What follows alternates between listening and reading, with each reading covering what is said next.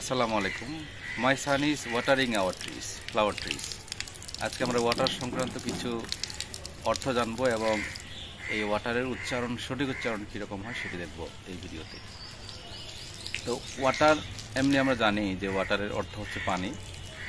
আর waters মানে হচ্ছে ওয়াটারের পরে যদি অ্যাস যোগ করি, সেটার অর্থ হয়ে যাবে সমুদ্র। এবং ওয়াটারের অর্থ ভার্ব হয়, যেমন আমি এখনই বললাম যে my son is watering our flower trees তাহলে ওয়াটারের অর্থ তিনটা।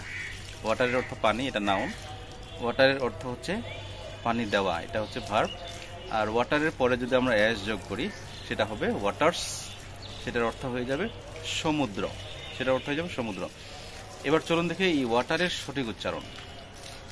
ব্রিটিশরা যে উচ্চারণটা করে এই ওয়াটারকে ওরা বলে যে ওছা ও ছা ওছা ওছা আর আমেরিক আমেরিকানরা যেটা উচ্চারণ করে, ওরা উচ্চারণ করে হচ্ছে ওয়ার্ডার। ওয়ার্ডার। ওয়ার্ডার। তাহলে ব্রিটিশটা আবার দেখি। ওঠা ওঠা ওঠা আর আমেরিকানরা বলে কি? ওয়ার্ডার। ওয়ার্ডার। ডয়ের মতো একটা উচ্চারণ ওরা করে। আর ব্রিটিশরা বলে উঠা উঠা। তো ধন্যবাদ। আসসালামু আলাইকুম।